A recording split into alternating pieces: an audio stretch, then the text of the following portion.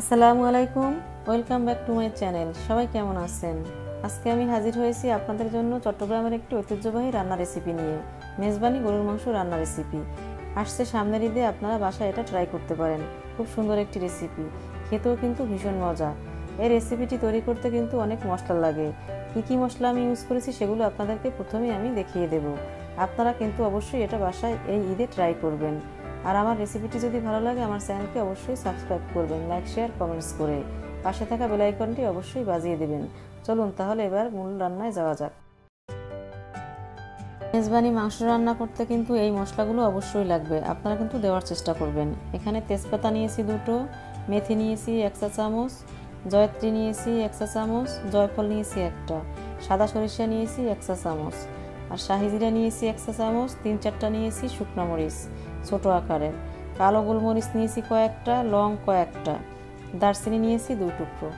এখানে আরও নিয়েছি সবুজ এলাচ দুই তিনটা, কালো এলাচ নিয়েছি দুইটা।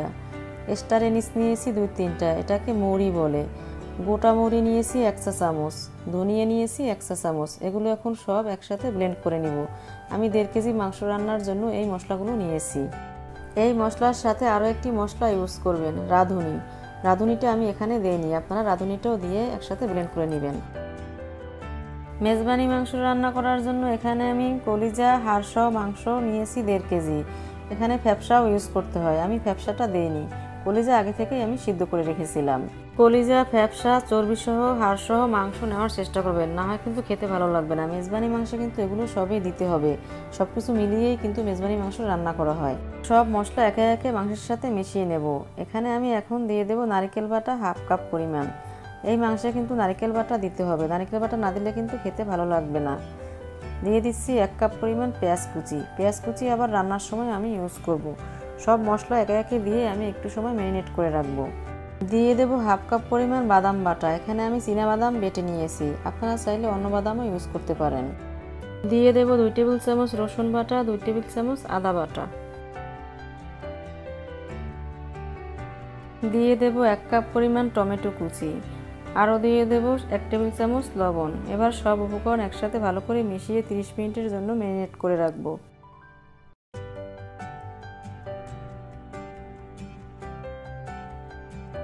চুলায় একটি কড়াই বসিয়ে নিয়েছি মাংস রান্নার জন্য। এর মধ্যে দিয়ে দেব হাফ কাপ পরিমাণ সরিষার তেল। মেজবানি মাংস রান্নাটা আপনারা সরিষার তেল দিয়েই করার চেষ্টা করবেন। এখন দিয়ে দেব দুই কাপ পরিমাণ পেঁয়াজ কুচি। দিয়ে দিচ্ছি তেজপাতা, দারচিনি ও এলাচ। সব উপকরণ একসাথে মিশিয়ে হালকা সোনালি করে একটু ভেজে নেব। পেঁয়াজ এভাবে হালকা সোনালি করে ভেজে নিয়েছি। এখন এর মধ্যে দিয়ে দেব এক টেবিল চামচ মরিচের গুঁড়ো। আরও দিয়ে দেব এক টেবিল চামচ হলুদের গুঁড়ো।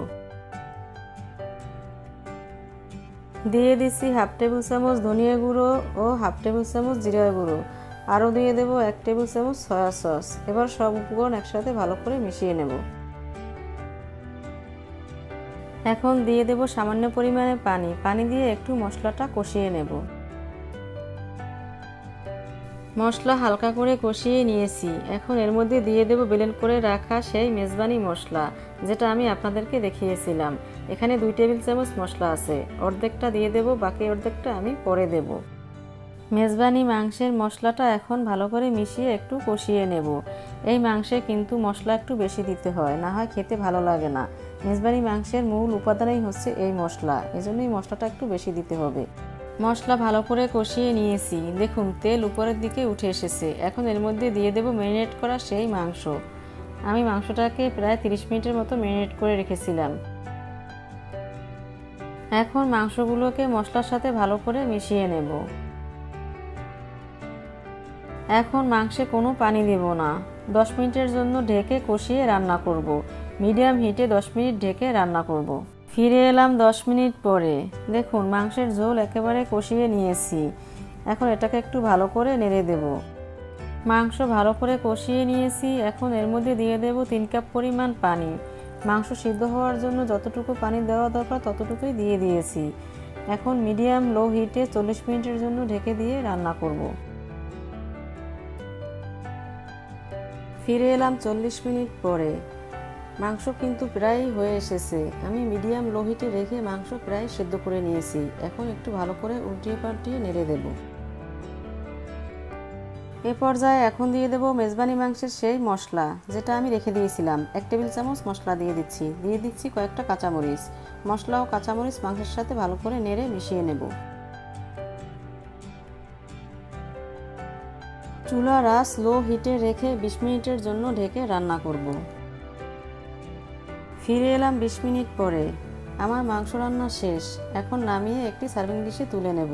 কুরবানির ঈদের জন্য আপনারা এটা তৈরি করতে পারেন। মেজবানি গরুর মাংস রান্না রেসিপি এটা চট্টগ্রামের একটি ঐতিহ্যবাহী রান্না। আর এই রান্নাতে কিন্তু অনেক মশলা লাগে। আপনারা কিন্তু আমি যে মশলাগুলো দিয়েছি, সব মশলা দেওয়ার চেষ্টা করবেন। না হয় কিন্তু খেতে ভালো লাগবে না। দেখুন, মাংসের কালারটা কি সুন্দর হয়েছে। খেতেও কিন্তু অনেক মজা। সামনে আসতেছে কুরবানির ঈদ। আপনারা এই কুরবানির ঈদে এই রেসিপিটা ট্রাই করতে পারেন। বিশেষ করে আমি আপনাদের জন্য এই রেসিপিটা কুরবানির ঈদের জন্য তৈরি করেছি। আর আমার ভিডিওটি যদি ভালো লাগে, আমার চ্যানেলকে অবশ্যই সাবস্ক্রাইব করবেন লাইক শেয়ার কমেন্টস করে। ফ্যামিলি ফ্রেন্ডস সবার সাথে আমার রেসিপিগুলো শেয়ার করে দিবেন। আর আমার চ্যানেলকে সাবস্ক্রাইব করতে কিন্তু ভুলবেন না। পাশে থাকা বেল আইকনটিও বাজিয়ে দিবেন। সবাই যে যেখানে আছেন, ভালো থাকবেন, সুস্থ থাকবেন। আল্লাহ হাফেজ।